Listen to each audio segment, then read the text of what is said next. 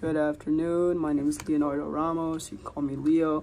I'm from Long Island, New York, uh, born and raised, and then came out to Florida to further my college education at USF.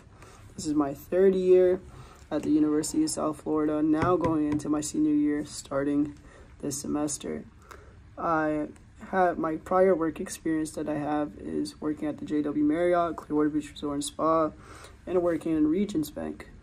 I am now working as a supervisor in downtown Tampa, hotel floor, and I love my job.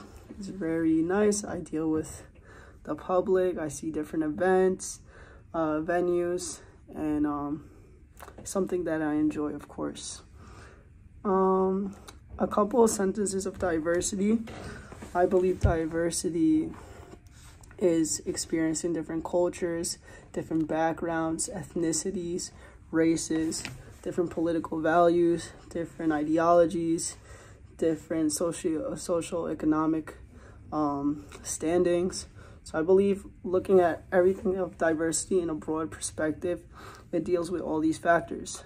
And I believe, you know, having a diverse place that you work or in diverse environment does help you be more knowledgeable in the real world. And something interesting about me is that I love to dance. So I hope you enjoy.